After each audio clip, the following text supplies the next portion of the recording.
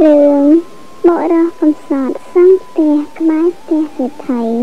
ធ្វើត្រាប់តាមសេដ្ឋីមាននិទានមួយថាមានបរោះប្តីប្រពន្ធនិងកូនស្រីម្នាក់ជាអ្នកលំបាកកំសត់ទុរគុណរកព្រឹកបានស៊ីតែព្រឹករកល្ងាចបានស៊ីតែល្ងាចតែមានរបស់អំរោះអ្វីឡើយតែបរោះប្តីប្រពន្ធនោះគិតគ្នា លំនៅយើងសប្ថ្ងៃនេះលំបាកណាស់មកយើងទៅរកលោកអាណាមានទ្រព្យសម្បត្តិច្រើនយើងទៅនៅខាងលោកលបមើលដំណើរលោកលោកធ្វើការម្ដេចខ្លះបានជាមានទ្រព្យសម្បត្តិរបស់ច្រើនអ្នកទាំងពីរប្តីប្រពន្ធនោះកាត់គ្នាដូច្នេះហើយក៏រុះរើខ្ទមទៅសង់នៅក្បែរខាងផ្ទះសេដ្ឋីសេដ្ឋីនោះឯងតែងប្រើខ្ញុំទៅជួញប្រែធ្វើចំការ បានទ្របរបស់បំពេញអាត្មាតែដែរដាច់ឡើយអាចបរោះប្តីប្រពន្ធនិងកូន បានធ្វើត្រាប់តាមដំណើរទាំងអំបាននោះរបស់សេដ្ឋីចំណេលងទៅកើតផលប្រយោជន៍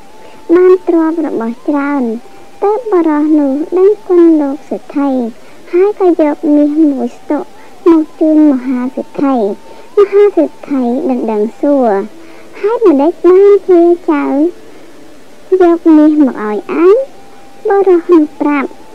បិទខ្ញុំបាទនេះជាអ្នកកំសត់ទុរគតខ្ញុំបាទបានរុះរើខ្ទមមកនៅក្បែរខាងលោកខ្ញុំបានមើលឃើញលោកតែងប្រើអស់ខ្ញុំកណ្ដោឲ្យទៅជួញប្រែធ្វើស្រែចម្ការបានជាទ្រព្យរបស់មកទើបខ្ញុំបាទប្តីប្រពន្ធនិងកូនមួ យធ្វើត្រាប់អំពើការទាំងនោះតាមលោកក៏បានជាអ្នកមានទ្រព្យរបស់លោកខ្ញុំកណ្ដោទិញគោក្របីបានប្រើជាច្រើនទើបខ្ញុំបានរលឹកដល់គុណលោកហើយខ្ញុំបានយកមាសមួយស្តុកមកជូនលោកហោងសិទ្ធិ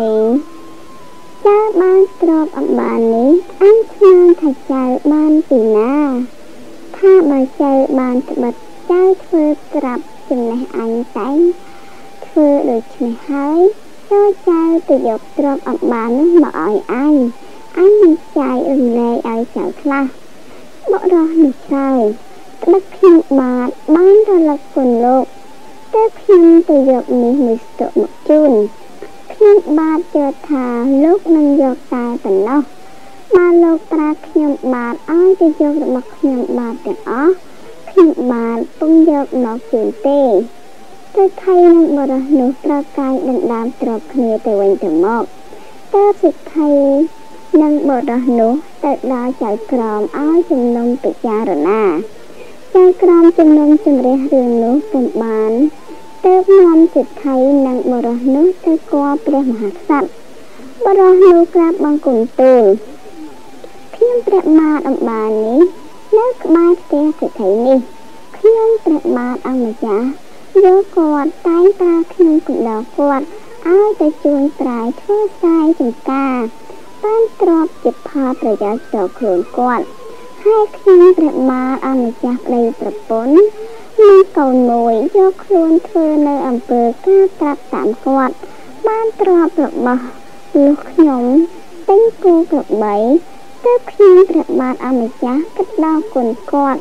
ហើយយកមាសមួយស្ទុឲ្យគាត់គាត់ពុំយកតែមាសមួយស្ទុនេះឡើយគាត់ប្រាខ្ញុំព្រះបាទអម្ចាស់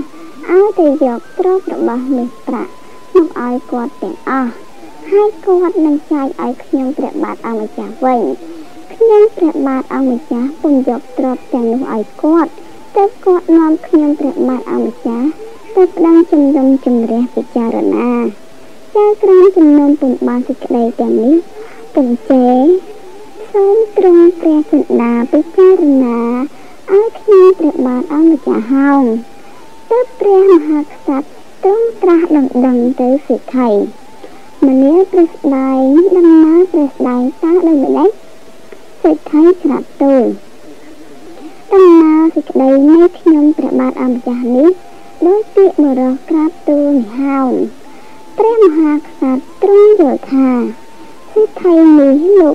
ពិតទើបព្រះអង្គមានព្រះបន្ទូលដណ្ដឹងថានាសិទ្ធិព្រះស្ដាយមានកូនឬអត់កូនសិទ្ធិក្រាបបង្គំទូលខ្ញុំព្រះបាទអង្គម្ចាស់មានកូនប្រុសមួយតើព្រះអង្គមានព្រះបន្ទូលដណ្ដឹងទៅបរោះនោះវិញព្រះស្ដាយមានកូនឬអត់កូនអរោះក្រាបបង្គំទូលខ្ញុំ ព្រះបាទអង្គម្ចាស់មានកូនស្រីមួយព្រះមហាក្សត្រមានព្រះបន្ទូលមនាព្រះស្ដែងទាំងពីរអើយម្លេះហើយកុំឲ្យខឹងនឹងគ្នាទៅវិញទៅមកអញឲ្យព្រះស្ដែងទាំងពីរចោលពន់នឹងគ្នាឲ្យកូនប្រុសសិទ្ធិនិងកូនស្រីអ្នកជាប្តីប្រពន្ធនឹងគ្នាទៅសិទ្ធិឲ្យទ្រព្យរបស់ព្រះស្ដែងទាំងពីរនាក់នួ លទៅលើកូននឹងឯងសិទ្ធិនឹងបរោស្ដាប់ព្រះបន្ទូលដូច្នោះហើយចូលចិត្តក៏ក្រាបថ្វាយបង្គំលាតើលំនៅអាត្មារិះរកប្រដាប់ការកូនទាំងពីរសម្រាប់ប្រការអំបាលនោះហោង